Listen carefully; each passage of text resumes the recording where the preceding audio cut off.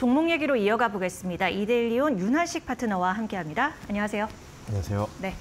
윤 파트너와는 이 시간에 늘 시장을 주도하는 주도주 개념부터 잡고 가는데요. 오늘도 네. 부탁드립니다. 자, 일단 오늘 시장에서도 시장을 주도하는 종목들이 꽤 많이 보이고 있습니다. 제가 이제 아침 방송에서 이제 마지막 타임에 종목도 말씀드렸듯이 제가 말씀드리는 종목들 보면 대부분 시장을 이끄는 주도주 위주로 포트폴리오를 구성합니다. 이 주도주란 당일날 아침부터 오후까지 시장을 주도하는 종목을 뜻하고요. 거래 대금도 많이 나와주면서 시장 전체의 수급을 이끌어가는 종목을 우리가 주도주라고 말씀을 드립니다. 이 주도주를 특히 매매를 하셔야 되는 이유는 특히 요즘 같은 시장에서 이제 수급이 많이 부족하잖아요. 그렇기 네. 때문에 수급이 쏠리는 사람들이 되게 관심도가 높은 이러한 종목들만 매매를 하다 보면 회전율도 빨라지고 우리가 계좌의 회전율이 빨라지기 때문에 우리가 계좌 손실도 줄일 수 있고요. 언제 나올지 모르는 이러한 종목들 개개인별로 악재에 따라서 대응할 수 있는 여력도 충분히 길러지기 때문에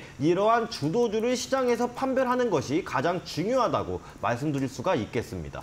자, 그렇다면 음, 오늘장 좀 강한 움직임을 보이는 쪽부터 하나씩 체크를 해보도록 할게요. 오랜만에 대항고래 이쪽이 움직입니다. 네, 오늘도 이제 주말간 대항고래 이슈가 좀 나왔습니다. 제가 이제 대항고래에 대해서 강조를 많이 드렸는데 이 대항고래 같은 경우는 중간중간에 악재가 나오더라도 조정 시에 분할 매수로 접근하면 상당히 좋은 테마다라고 말씀을 드렸습니다. 일단은 본격적인 시추가 연말부터 내년 초까지 진행될 예정인데 주말 동안 꽤 강한 뉴스가 나왔어요. 일단은 첫 번째로 크게 보면 두 가지 이슈가 나왔는데 첫 번째로 기존 영일만에서 부상 신항으로 이제 시추 기지를 이전한다는 뉴스가 전해졌습니다.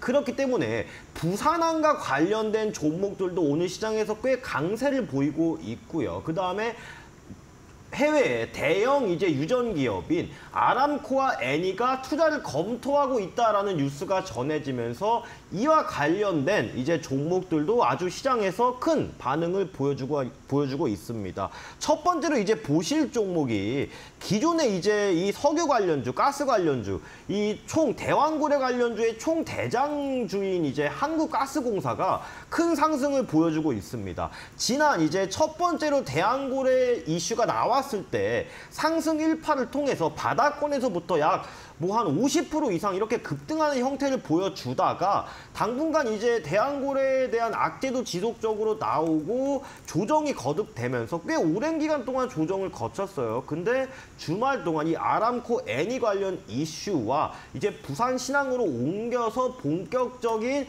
시추를 준비한다라는 뉴스가 전해지면서 큰 상승을 보이고 있습니다. 네. 한국가스공사 같은 경우에는 일단 제가 말씀드렸듯이 앞으로 내일 또 모레 다음 주 이 지금 자리에서 추가적으로 조정이 나오더라도 연말하고 내년 초까지 본격적인 시추가 진행되기 전까지는 계속 계속 계속 이슈가 살아있는 큰 테마이기 때문에 적극적으로 조정 시에 분할 매수는 아직도 유효한 관점이다라고 말씀을 음, 그렇게 예. 드릴 수가 있을 것 같아요. 네.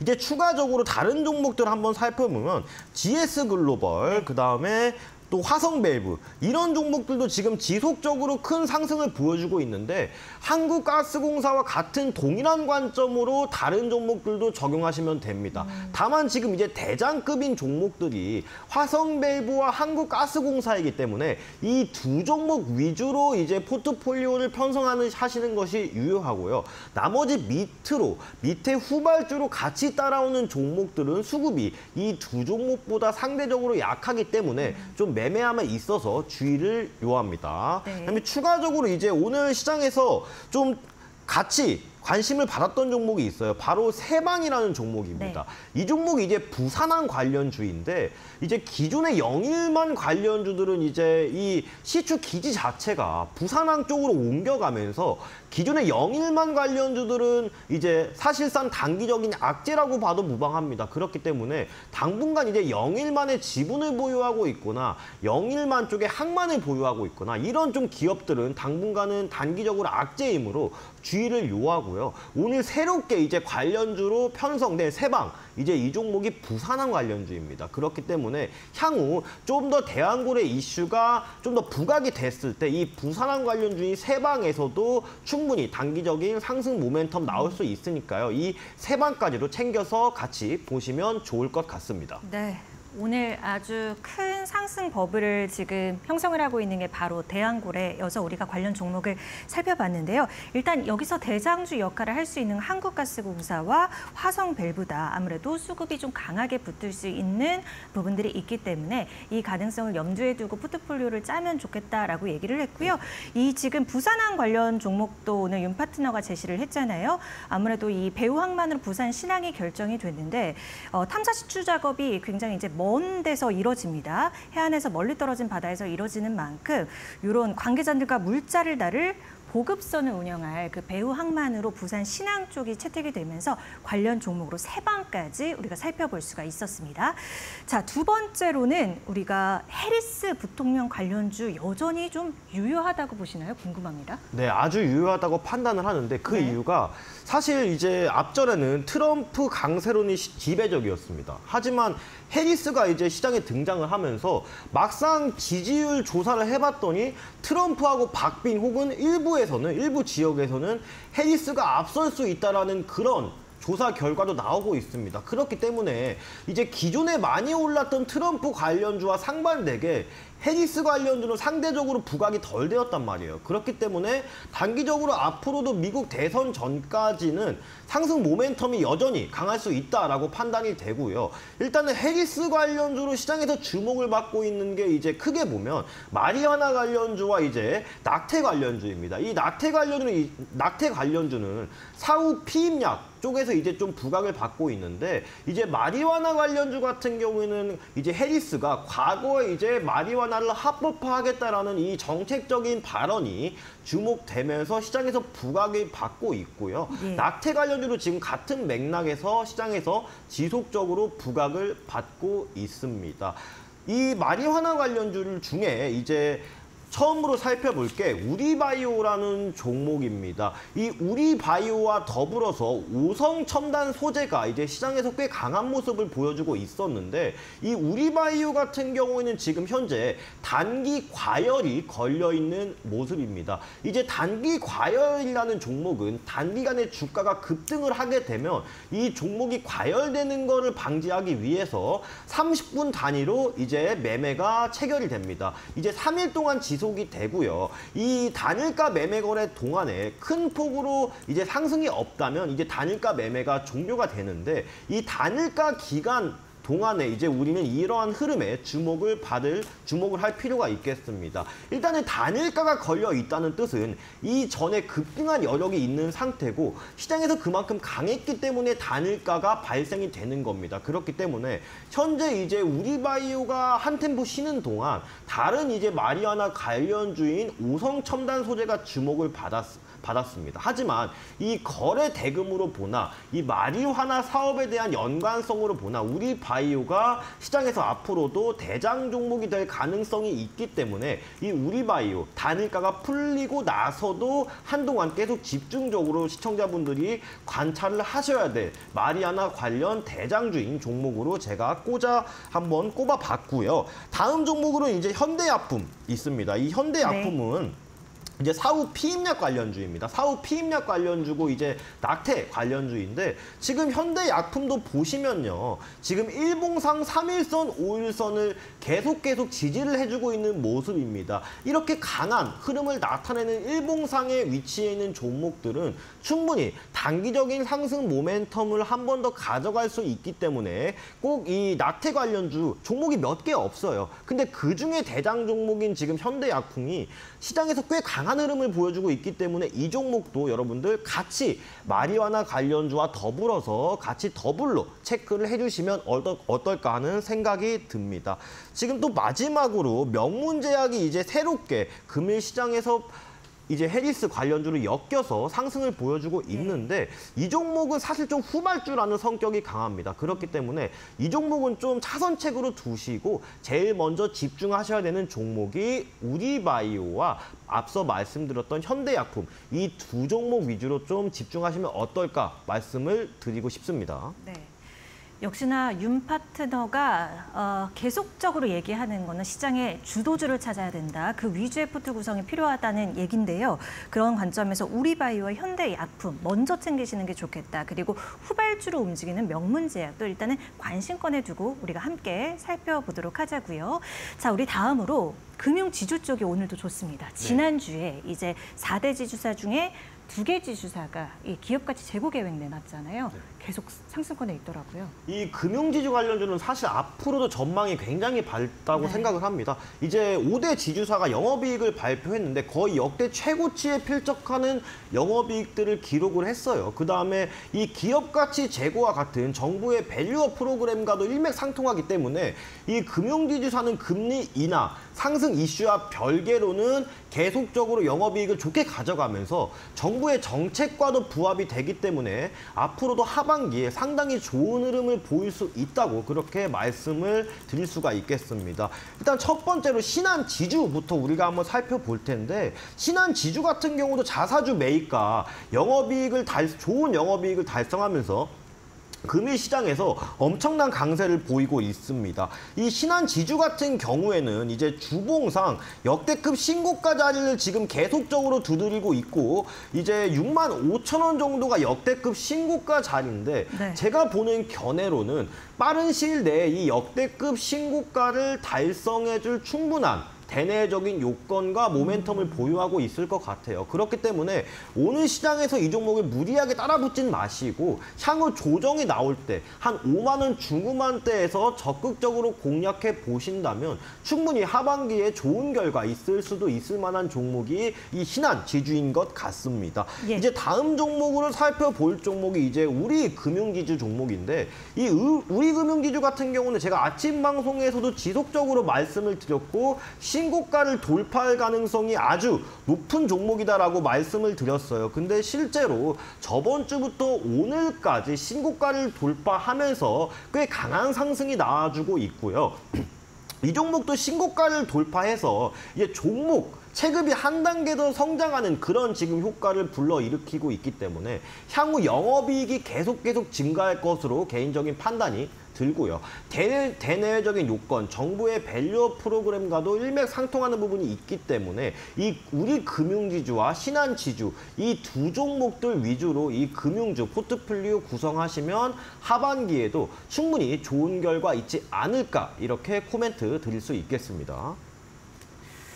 네, 연초에 정부가 이 증시 밸류업을 공표하면서 덩달아 연초부터 좀 움직임을 보였던 종목군입니다. 그런데 어, 오르다가 연초 수준으로 다시 회귀한 종목군도 있고 밸류업 관련주 중이에요. 하지만 이 금융지주사 같은 경우에는 충분히 잠재력을 보호하고 지속적으로 조금 더 상승 쪽을 바라보고 있던 어, 업종군이었습니다. 아, 이쪽 관련해서 여전히 기대감이 남아있다고 윤한식 파트너 봤고요. 신한지주와 우리 금융지주 중, 종목 투자 전략까지 우리가 챙겨볼 수가 있었습니다. 자, 오늘장 또 다른 움직임을 좀 좋게 보이고 있는 쪽 하나 더 볼 수 있을까요? 바로 방산주입니다. 방산주요. 방산주도 제가 아침 방송에서 계속해서 강조를 해드렸던 예. 해, 해드렸던 것 같은데 지금 보시면 시장에서 강한 종목들만 계속해서 순환매가 돌고 맞아요. 있어요. 그래서 오늘도 방산주가 강세를 보이고 있는데 이와 같은 현상은 이 방산주가 지속적으로 이제 국제 정세상 부각을 받을 수밖에 없는 환경에 노출이 되고 있습니다. 지금 이제 유럽 쪽 동유럽 국가들이나 일부 중동 국가들이나 중동 국가들에 대한 수출 호조도 계속되고 있고요. 특히 현대 로텀 같은 경우에는 신고가를 돌파하면서 계속 계속 주가 상승 모멘텀을 불러일으키고 있는 상황인데 K2 전차의 이제 수출 호조, 수주 잔고와 더불어서 이와 같은 상황이 지금 주가 상승에 영향을 미치고 있는 것 같습니다. 현대 로템 같은 경우에는 과거에 조금 지지부진했던 흐름이 있었어요. 전환 사채 이슈도 있었고 그다음에 워낙 이제 철도 사업 부분에 대한 매출 비중이 높다 보니까 그게 오히려 걸림돌로 작용하고 있었는데 최근에 이제 사업구도 재편을 했습니다. 근데 그 이제 사업구도 재편에 대한 내용을 뜯어보면 철도 사업 부분에 대한 비중을 좀 줄이고 방산 쪽으로 이제 비중을 좀 더 늘리는 모습이 관찰이 되고 있어요. 위로 위로 보았을 때 이제 현대 로템은 철도 기업이 아니라 본격적인 이제 방산 관련주로서의 면모를 갖춰가는 중이다라고 해석을 할 수가 있겠습니다.